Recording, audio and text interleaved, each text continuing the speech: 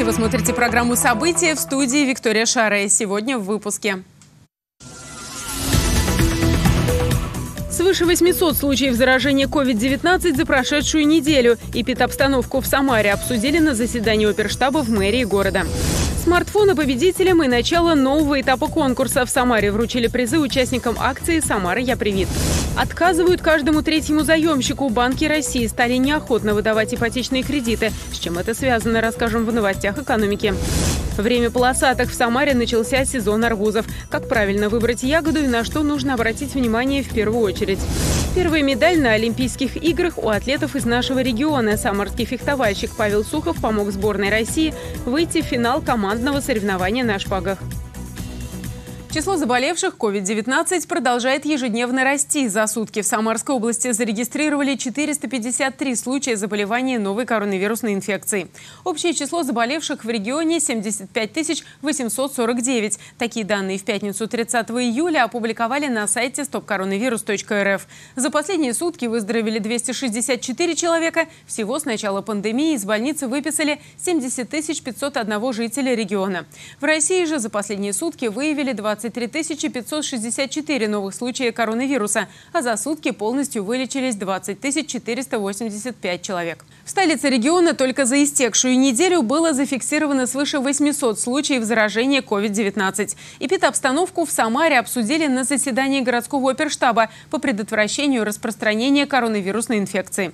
Глава города Елена Лапушкина дала поручение профильным ведомствам и департаментам усилить работу в части вакцинации. Тему продолжит Мэри Илчан. QR-код о сделанной прививке от COVID не освобождает от ношения масок. В общественных местах и транспорте средства индивидуальной защиты обязательны. Затем, как соблюдается масочный режим, ежедневно следят. Проводятся рейды, главная цель которых не наказать, а обезопасить. Об этом говорили на штабе по предотвращению распространения коронавирусной инфекции. Совещание прошло под председательством Елены Лапушкиной. Глава города подчеркнула важность соблюдения всех мер профилактики, в том числе на рабочих местах. По поводу допуска сотрудников сотрудников, имеющих температуру, уважаемые коллеги, как руководители, еще раз заостряю ваше внимание, что никаких сотрудников с температурой, с недомоганием на рабочих местах быть не должно. Чтобы у нас не было самоуспокоенности, для нее оснований никаких нет. И каждый на своем месте должен работать. Нет ничего важнее сохранения жизни людей. Ничего важнее нет. И здоровья. За прошлую неделю в Самаре было зафиксировано 829 случаев заражения COVID. В борьбе с вирусом медицинские работники подтверждают эффективность вакцинации. В числе тех, кому она строго необходима, согласно постановлению главного государственного санитарного врача по Самарской области, государственные и муниципальные служащие. Так темпы иммунизации в этих структурах увеличились. За период с 23 июля по 29 июля, то есть за 7 дней, количество сотрудников, прошедших вакцинацию, увеличилось на 2459 человек. И если на протяжении длительного э, периода времени нашего мониторинга количество вакцинированных сотрудников за неделю варьировалось порядка 1000-1500 человек, то за последнюю неделю мы наблюдаем, конечно же, значительный рост. В ходе многочисленных рейдов, которые проводят в торговых центрах, транспорте, объектах потребительского рынка, фиксируются нарушения и составляются протоколы. За последнюю неделю в Управление гражданской защиты поступило 32 административных материала. За все время пандемии с нарушителей взыскали уже свыше 5 миллионов рублей. Майя Елчан, Василий Колдашов. События. В Самарскую область поступили новые партии вакцин против коронавируса. Свыше 50 тысяч доз вакцины ГАМ-Ковид-ВАК и более 16 тысяч доз препарата «Спутник Лайт». Это четвертая зарегистрированная вакцина в России. В чем ее особенность и кому она рекомендована в нашем сюжете. Рекомендована тем, кто уже переболел коронавирусом. Первая партия вакцины «Спутник Лайт» прибыла в Самарскую область. Это уже четвертая вакцина, зарегистрированная в России. Она однокомпонентная и подходит пациентам с 18 до 60 лет. Также в регион поступило еще более 50 тысяч доз «Спутника Ви». Все отечественные вакцины безопасны и эффективны. Любому гражданину, желающему пройти вакцинацию от новой коронавирусной инфекции, необходимо при себе, при себе иметь паспорт, полис и СНИЛС. Мы призываем э, заранее записываться на вакцинацию, чтобы не формировались живые очереди, что облегчит э, вакцинацию для самих пациентов и немножко разгрузит медицинских работников.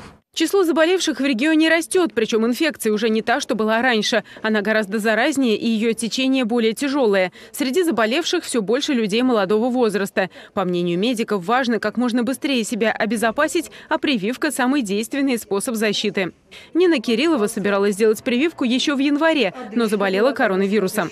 Болезнь протекала тяжело. Женщина оказалась в больнице. Говорит, больше проходить через это не хочет. Поэтому спустя полгода, когда исчезли антитела, решила сделать прививку. Полгода прошло, обязательно надо, чтобы опять не заболеть.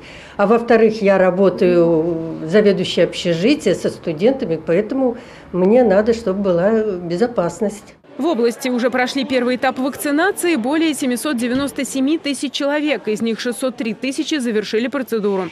Медики подчеркивают, что все это время не было ни одного случая серьезных поствакцинальных реакций. Подавляющее большинство, в том числе пожилые люди, переносят вакцинацию хорошо, без каких-либо симптомов. И только у небольшой части привившихся наблюдается повышение температуры, ломота и боль вместе инъекции, которые проходят за 2-3 дня.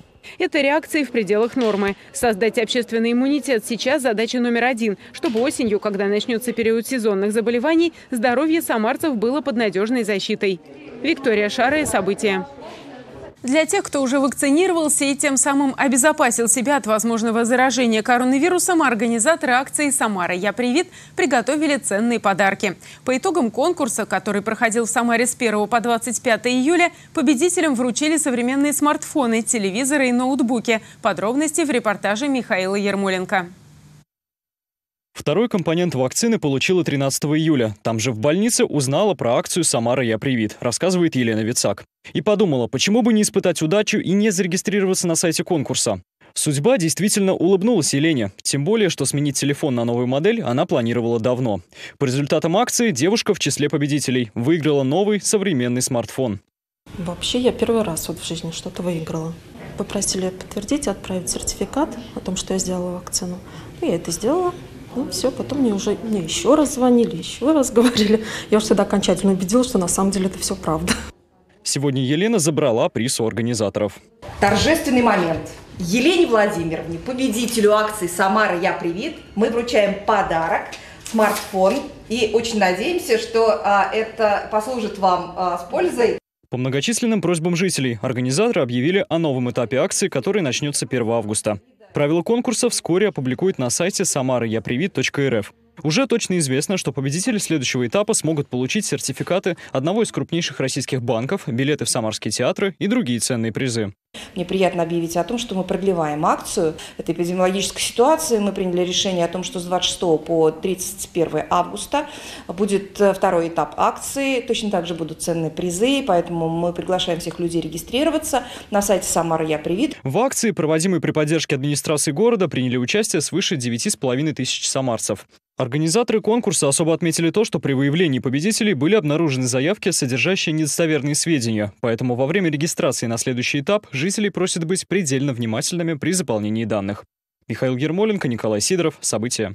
Банки стали выдавать ипотеку с осторожностью. Одобрение получают только 60% потенциальных заемщиков. По данным Бюро кредитных историй, к концу года средний лимит по кредитным картам может превысить 75 тысяч рублей. В России трудовые книжки нового образца начнут использоваться с 1 января 2023 года. Обо всем подробнее в нашей рубрике «Новости экономики». Уровень одобрения заявок по ипотеке к началу июля сократился до минимума за последние несколько лет. Сейчас он находится в районе 63% вместо прошлогодних 70%. В банках отмечают, что из-за большого потока желающих приобрести квартиру в ипотеку кредиторы зачастую стали сталкиваться с менее платежеспособным спросом, чем ранее. Снижение одобренных суд до минимума обусловлено повышением ипотечной ставки, активным увеличением цен на жилье и снижением реальных доходов населения, считают эксперты рынка недвижимости недвижимости. Все ликвидное и недорогое жилье было разобрано в прошлом году. Ранее сообщалось, что Россия вошла в число стран с самыми быстрыми темпами роста стоимости жилья. За время пандемии цены на недвижимость поднялись почти на 15%. Эксперты считают, что рост цен остановится уже в этом году. По данным Бюро кредитных историй, к концу года средний лимит по кредитным картам может превысить 75 тысяч рублей. В июне показатель достиг 71 тысячи рублей. Это на 2% меньше, чем в мае 2021 года и на 11,5% больше, чем в июне 2020 года. По данным бюро, основным драйвером роста будут кредиты заемщиков из городов федерального значения, в которых средний лимит по картам вплотную уже приблизился к 90 тысячам рублей. В России трудовые книжки нового образца начнут использоваться с 1 января 2023 года. Соответствующее постановление подписал председатель правительства Михаил Мишустин. При этом работники смогут без ограничений пользоваться прежними трудовыми. То же касается бланков и вкладышей старого образца, которые хранятся у работодателей. Они также будут действительны. Определять порядок изготовления новых трудовых книжек поручено Министерству финансов. Кроме того, ведомство займется решением вопросов, связанных с обеспечением работодателей документами нового образца образца. Ранее Министерство труда и социальной защиты внесло коррективы в форму бланков трудовой книжки, а также изменило инструкции по ведению и хранению документа. Помимо этого, с прошлого года работники могут выбирать между бумажной и электронной версиями документа. В марте в силу вступил закон, позволяющий гражданам обращаться в Пенсионный фонд России для включения в индивидуальный лицевой счет всех сведений о трудовой деятельности до 1 января 2020 года. Он позволит не потерять стаж тем людям, которые переходят на электронные трудовые книжки. Курс доллара на 31 июля 73 рубля 13 копеек. Евро 86 рублей 99 копеек. Нефть марки Brent торгуется на отметке 74 доллара 96 центов за баррель.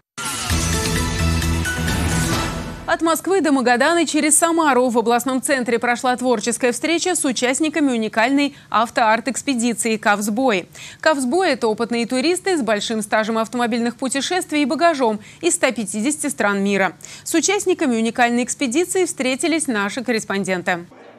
Путешественница со стажем Людмила Гвоздева на арт-экспедицию «Кавсбой» согласилась, не раздумывая. Более 10 лет жительница Самары участвует в автомобильных пробегах по России на личном авто. Его Людмила собрала своими руками. Короткая база, увеличенный клиренс, ралийная резина и боевая раскраска сделали обычный городской автомобиль грозой бездорожья. Людмила хочет доехать до конечной точки пробега именно на нем. У нас немножечко там свой план. То есть мы хотим дойти с ними до Магадана, и мы хотим зайти на Старый Колымский тракт и попробовать его пройти. Нам говорят, что это, конечно, невозможно, но у нас там есть кое-какие свои мысли по этому поводу. Поэтому мы думаем, что мы все-таки пройдем. В рамках проекта «Творцы счастья» участники арт-экспедиции «Кавсбой» посетили музейно-выставочный центр «Самара Космическая» и обсудили с представителями областной столицы творческую деятельность в регионе. Проект «Творцы счастья» направлен на то, чтобы мы максимально рассказывали жителям Самарской губернии о возможностях, которые предоставляют э, те люди, те гости, которые проезжают через наш гостеприимный регион. Кавсбой – это художники, музыканты, писатели, журналисты, которые отправились на автобусе Кавс до Магадана. Они проедут через разные города, в некоторых из них дадут мастер-классы. Дорога предстоит нелегкая. Среди участников автопробега лидер группы «Бахыт Компот» Вадим Степанцов. Он вместе со своими музыкантами исполнил несколько авторских композиций. Два музыканта, которые едут со мной, э, балалаишник Андрей Ежель, это группа «Бахыт Компот», Константин Ядриков, группа «Мастодон», тоже мой проект. Э, вот. И мы э, таким образом представляем собой, ну, как бы это сказать, срезки, что называется. Автомобильно-автобусная арт-экспедиция «Кавсбой» стартовала 26 июля, завершится 3 сентября. Творческая группа путешественников доедет до Магадана, оставит автобус и улетит в Москву. Следующим летом они поедут обратно маршрутом и также проведут мастер-классы и встречи. Ольга Павлова, Никита Колосов, Григорий Плешаков. События. По прогнозам, на следующей неделе в Самару снова вернется жара. Синоптики обещают рекордные температуры до плюс 37 градусов. В такую погоду тяжело приходится и людям, и животным. Причем в жару в зоне риска не только собаки на выгуле, но и домашние любимцы, которые редко покидают квартиры. Нужно ли при таких температурных значениях купать и стричь питомцев? И как за ними правильно ухаживать, выяснила Ольга Хамракулова. Лапами кондиционер не выключить, на улицу в любое время не выйти. В жару жизнь и здоровье домашних питомцев полностью зависит от хозяев. И здесь важно уметь распознать симптомы солнечного или теплового удара. Если у животного появляется одышка, сильная, если какое-то обильное слюнотечение, если нарушение ориентации, потеря сознания, то есть животному нужно сразу оказывать помощь. Нужно перенести животное в тень, смочить лоб и лапы. Ни в коем случае нельзя бросать питомца в воду или обильно поливать. Касается это правило и тех, кто в жару отдыхает и купается с питомцем на Волге. Если вы э, на контрасте польете или умоете или искупаете животное ледяной водой, вы получите обратный эффект, потому что произойдет спазм сосудов. Резких перепадов температуры делать ни в коем случае нельзя. То есть, если вы польете животное комнатной температурой, выпустите на жару, здесь э, будет эффект паровой, тоже ничего хорошего. Еще один насущный вопрос – стричь или не стричь питомца в жару. С одной стороны, шерсть создает своеобразную холодную воздушную подушку. С другой, если шерсть сваляется, то сквозь плотные комки не пройдет воздух и нарушится теплообмен. Потому главной причиной стрижки все-таки является гигиена. У веслоухого шотландца по кличке Батон шерсть густая и, что называется, снегом летает по квартире. Потому все модные тенденции зоофэшн-индустрии он узнает на себе. Но вообще сама процедура сама по себе безболезненна для животных. То есть мы их э, стрижем машинкой, э, достригаем ножницами мордочку. Стандартная стрижка кошек забривается лезвием 1,5 мм или 1,8 Мы оставляем круглую мордочку, кроличьи лапки э, спереди сзади и кисточку на хвосте. Э, некоторые стрижки делают дракончиком, э, по спинке и или же дракончик такой на хвосте елочкой больше похож. В случае с котами получается эдакий мамин лев. Но чаще стрижки требуются искусственно выведенным декоративным собачкам, для которых длинная и часто не линяющая шерсть является главной гордостью. Но это еще не все. В этом сезоне в тренде колорирование, ароматерапия и озоновые ванны для питомцев парфюмы специально для животных. Э, мы им обрабатываем, и он как человеческий работает, хватает на 3-4 дня. Есть озоновые ванны, озонотерапия она называется. Мы помещаем, допустим, шпицов, это, как правило, на шпицов, на маленьких собак э, больше действует. А озон, озонотерапия, она способствует, э, я так помню, что она способствует правильному составу шерсти, чтобы шерсть росла и чтобы это спас, э, убирает лапецию, я знаю, у шпицов, и озонотерапия помогает именно вот от нее. Самое главное во всех этих процедурах – знать меру и не навредить в погоне за красотой. А вот то, что однозначно сделает вашего питомца красивым и здоровым, так это любовь и забота. Ольга Хамракулова, Николай Сидоров. События. Самая популярная сезонная ягода заполнила городские магазины и рынки. В Самаре, наконец, наступил сезон арбузов. Выбор огромен. Покупателям предлагают сахарное лакомство на любой вкус, вес и ценовой диапазон. Выбрать полосатого на десерт поможет Мэри Елчан, а также расскажет, что можно сделать с косточками арбуза. Слово нашему корреспонденту. Вот, пожалуйста. Красный, сочный и сладкий. Сезон бахчевых в Самаре в самом разгаре. Принято считать, что у спелого арбуза сухой хвостик. Однако мнение это ошибочное. Потому что пока ягоды из бахчи дойдут до покупателя, этот отличительный знак уже в любом случае будет сухим, объясняют опытные продавцы. Созревший арбуз имеет более матовую корочку, а также яркие и четкие полосы. О спелости свидетельствует и земляное пятно. Это место, на котором плод рос. Оно должно быть ярко-желтого цвета и только одно, говорит продавец продавец арбузов Илья Сабасов. Сладкой ягодой он торгует до поздней осени. Показываем, если кому надо, вот стучим, показываем, говорим, если не нравится, если плохой будет или какой-то, если невкусно будет, придет, и мы поменяем, вам другой дадим. У нас арбуз стоит 25 рублей. Но это сегодняшняя цена, завтра она может упадет.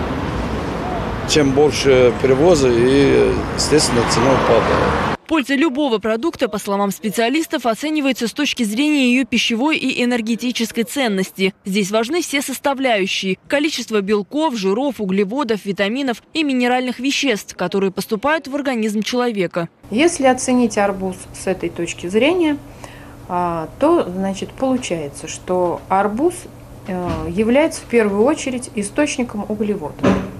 100 грамм продукта содержится около 8 грамм углеводов, а остальное – это вода и минеральные вещества, растворенные в ней. Питательные вещества, содержащиеся в арбузе, особенно полезны для сердца. Толк есть и в самих семенах ягоды. В них присутствует железо, а это важный компонент хорошего гемоглобина. Также арбузные косточки богаты цинком и содержат около 25% дневной нормы в 30 граммах. Специалисты советуют выкладывать арбузные косточки на противень и обжаривать в духовке 15 минут при температуре 150-170 градусов. Эксперты утверждают, что это не только полезно, но и вкусно. Мария Илчан, Константин Головин, Максим Гусев. События.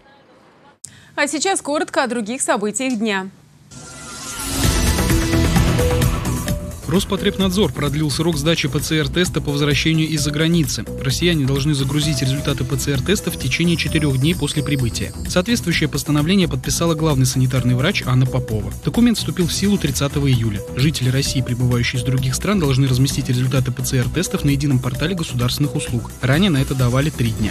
В Винновке Волгу выпустили две с половиной тысячи мальков стерляди. Это стало частью федерального проекта оздоровления Волги. Подобные акции позволяют сохранять экологический баланс и поддерживать поддерживать состояние популяции водно-биологических ресурсов региона, рассказал заместитель министра лесного хозяйства, охраны окружающей среды и природопользования Самарской области Михаил Студенников. Отметим, что стерлядь – единственная рыба из осетровых, имеющая маленький ареал миграции. Это означает, что большинство выживших мальков останутся обитать в Самарской области, недалеко от места, где их впервые выпустили в реку. Онлайн-переводами пользуются уже три четверти россиян. Более 57% взрослого населения России за последние 12 месяцев переводили деньги через интернет или мобильный банкинг. Об этом сообщили в Центральном банке страны. За два года этот показатель вырос более чем на 20%. Активно растет и использование платежных карт. Их доля в розничном обороте за 2020 год увеличилась почти на 69%. А доля безналичных платежей выросла до 70%. Значительное влияние на это оказали пандемии и связанные с ней ограничения. Самарский фехтовальщик Павел Сухов принес первую олимпийскую медаль в копилку Самарской области. Он помог сборной завоевать серебро в командном турнире. В целом у сборной команды российских атлетов сегодня удачный день. Сразу несколько спортсменов стали олимпийскими мультимедалистами. Обо всем подробнее Андрей Горгуленко. Спортсмен Павел Сухов принес первую олимпийскую медаль для Самарской области. Он помог сборной завоевать серебро в командном разряде фехтования на шпагах. Сначала в четвертьфинале мужчины одолели итальянцев 45-34. Павел нанес 12 точных уколов. А в полуфинале россияне справились со сборной Китая 45-38. На счету Сухова 14 результативных действий. В финале шпажистам предстояло сражаться против хозяев сборной Японии. На протяжении всего финала россияне уступали в счете и никак не догоняли соперников соперников. Не помогли и 15 уколов от Павла Сухова, который стал самым результативным в команде. Итог – поражение 36-45. Право первой медали у Павла Сухова мог перехватить гребец Александр Визовкин. Сегодня утром он вышел на старт финального заплыва в одиночном разряде. Александр большую часть дистанции в 2 километра держался рядом с лидерами, но все же отстал ближе к финишу и занял пятое место.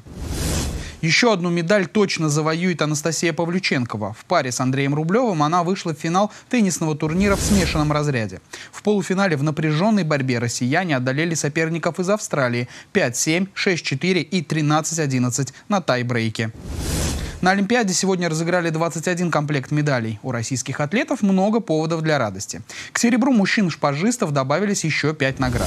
Евгений Рылов стал двухкратным олимпийским чемпионом. Он оказался быстрее всех и в плавании на 200 метров на спине, установив олимпийский рекорд. Теперь в его активе три медали в Токио, как и у Виталины Бацарашкиной, которая тоже стала двукратной олимпийской чемпионкой. Россиянка оказалась точнее всех в стрельбе из пистолета с 25 метров.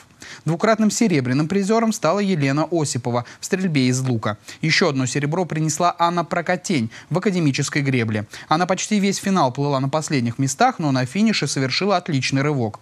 Бронзу завоевал дзюдоист Тамерлан Башаев в категории свыше 100 килограммов. Медальный зачет продолжают возглавлять китайцы. Они нарастили небольшое преимущество. Сейчас у них 19 золотых. Российская сборная остается на четвертом месте. В активе нашей команды 10 золотых, 14 серебряных, 10 бронзовых. Для тех, кто следит за самарскими спортсменами на Олимпиаде, выходные будут насыщенными. Какой будет медаль у Анастасии Павлюченковой решит финальный матч в смешанном теннисном турнире. Она в паре с Андреем Рублевым будет противостоять другому российскому дуэту – Елена Веснина и Аслан Карацев. В субботу в борьбу за медали вступят выступит Андрей Юдин. Квалификация в прыжках на батуте начнется в 8 утра. В субботу же дзюдоистка Дарья Межецкая постарается помочь сборной России в командном зачете. А гандболистки проведут сложнейший матч против сборной Франции. В воскресенье братья-фехтовальщики Бородачевы постараются завоевать медали в команде, а российские волейболисты проведут заключительный матч группового этапа. На этом все. Больших побед вам. Удачи!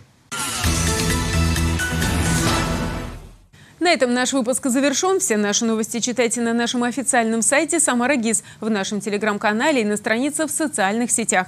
Всего вам доброго и отличных выходных!